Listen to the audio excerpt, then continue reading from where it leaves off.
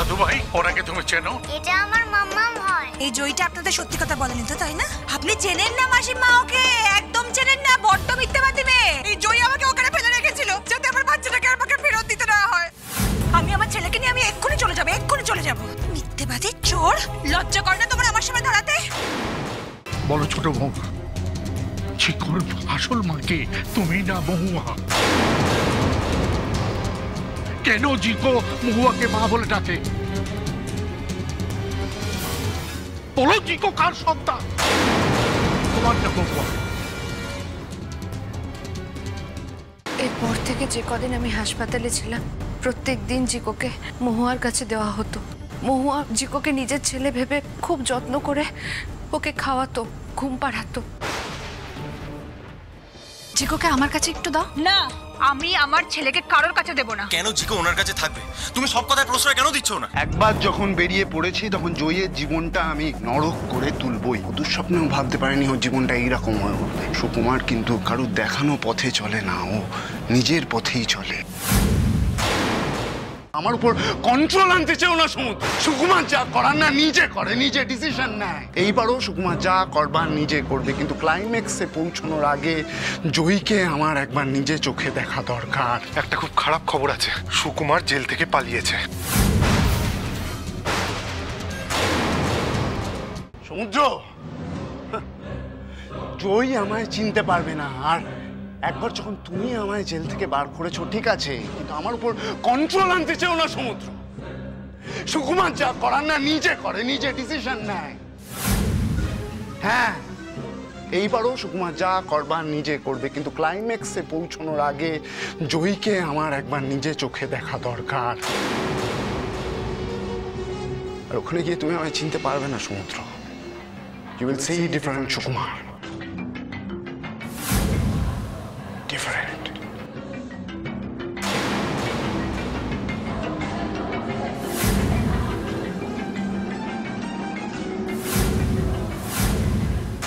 আমাকে যেতে দাও না মাম্মাম আমি একটু মায়ের কাছে যাই। হাই কি সরক্ষণ মামা করছিস হ্যাঁ? কি সরক্ষণ মামা করছিস? কে তোর মা?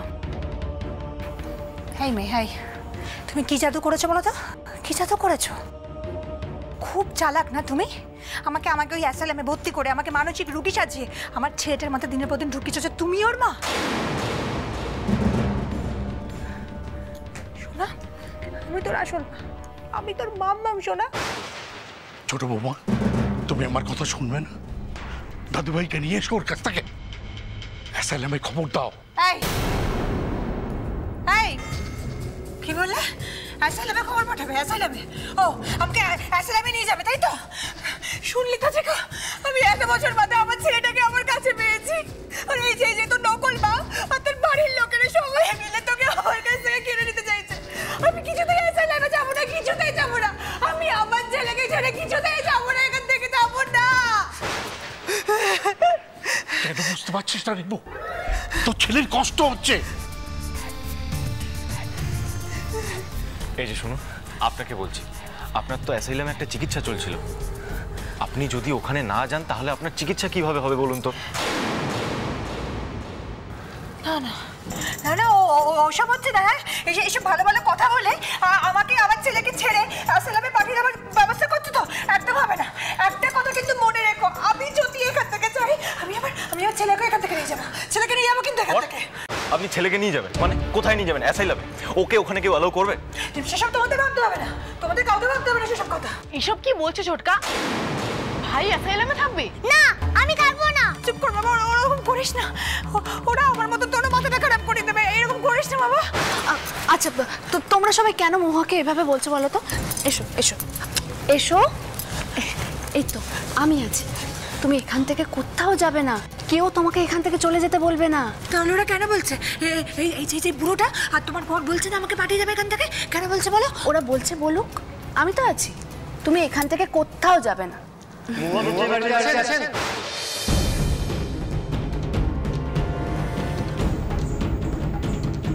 আপনারা আমরা অ্যাসাইলাম থেকে আসছি।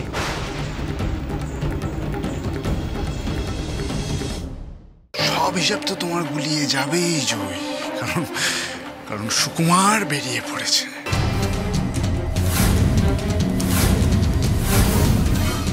আজ রাতটা তোমার জন্য এক ভয়ঙ্কর রাত জয়ী বাবু জিকো কোথায়? আমি আমার দায়িত্ব পালন করতে পারিনি বটে তবে এত বড় কাজের বরাত অপটু হাতে না দেওয়াই ভালো। মা এটাই আমাদের ভক্তি চেতনাটাই হলো আসল কথা মধুর তাই আর দেরি না করে তোমরা খোঁজ খবর শুরু করে দাও। আমি নিজে যাব রথের বায়না দিতে। জয় রঘুবীর। ওদের বিয়ের দিন আমি বরণডালায় রাখা প্রদীপটা ফু দিয়ে নিভিয়ে দিয়েছিলাম। সেই প্রায়শ্চিত্ত করতে আমি আজ নিজের হাতে ওই বরণডালার প্রদীপ জ্বালাতে চাই।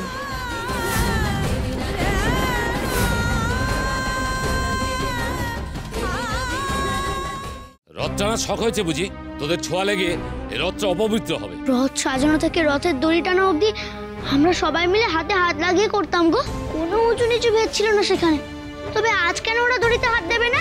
রথও চলবে জগন্নাথের পুজো হবে। আমি কথা দিচ্ছি। ঘরের চাকর বাকরের মতো আমাকে আমাকে বাড়ির এক কোণে একটু ঠাঁই দিতে পারবেন না?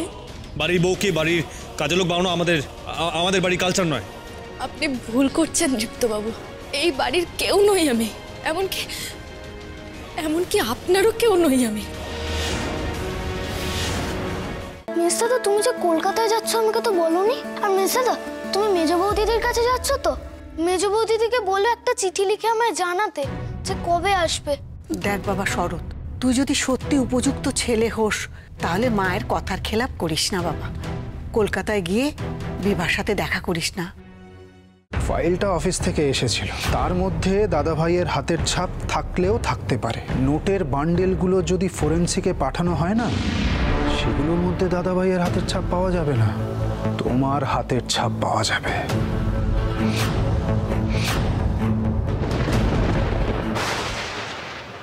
রাহুল আমি এখনই কাউকে জানাতে চাইছি না আমি কেন যাচ্ছি? তুমি কেন যাচ্ছ তা কিন্তু আমি জানতে চাইছি না। তুমি কোথায় যাচ্ছ সেটা কিন্তু জানতে চেয়েছি। কলকাতা থেকে দুশো কিলোমিটার দূরে রাহুলদা। তো সেদিনের আদরটা আমি আজও ক্যারি করছি। কি? আমি প্রেগনেন্ট বসুধা দেবী তো নিজে এসেছিলেন। তারা দিচ্ছিলেন যে ওনার টাকাটা খুব দরকার। মা নিজে এসেছিল ব্যাংকে? কিরে বাবা কিছু বলবি? তুমি এটা করতে পারলে মা? আমাদের ঠকাতে পারলে?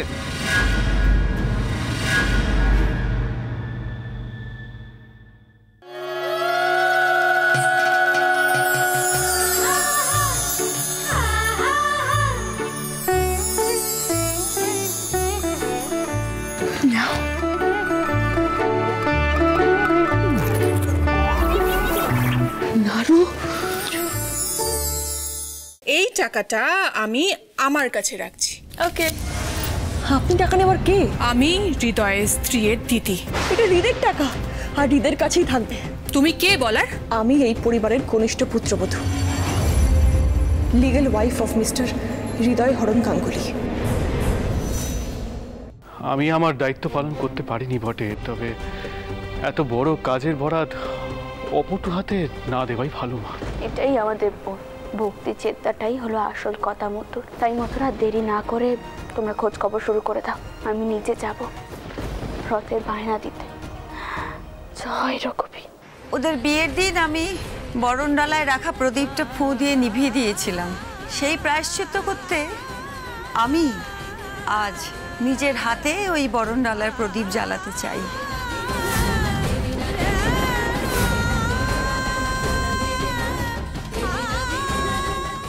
রথ টানা শখ হয়েছে বুঝি? তোদের ছোঁয়া লেগে এ রথটা অপবিত্র হবে। রথ সাজানো থেকে রথের দড়ি টানা অবধি আমরা সবাই মিলে হাতে হাত লাগিয়ে করতাম গো। কোনো উঁচু নিচু ভেদ ছিল না সেখানে। তবে আজ কেন ওরা দড়িতে হাত দেবে না? রথও চলবে জগন্নাথের পুজো হবে। আমি কথা দিচ্ছি। ঘরের চাকর বাকরের মতো আমাকে আমাকে বাড়ির এক কোণে একটু ঠাঁই দিতে পারবেন না? বাড়ির বউকে বাড়ির কাজের লোক বানানো আমাদের আমাদের বাড়ির কালচার নয়। আপনি ভুল করছেন দীপ্তবাবু। এই বাড়ির কেউ নই আমি। এমনকি এমনকি আপনারও কেউ নই আমি। মেসদাদা তুমি যে কলকাতায় যাচ্ছ আমাকে তো বলনি? আর মেসদাদা তুমি মেজ বৌদিদের কাছে যাচ্ছ তো? মেজ বৌদিদিকে বলে একটা চিঠি লিখে আমায় জানাতে যে কবে আসবে? দেখ বাবা শরৎ, তুই যদি সত্যি উপযুক্ত ছেলে হোস, তাহলে মায়ের কথার খেলাপ করিস না বাবা। কলকাতায় গিয়ে বিভার সাথে দেখা করিস না।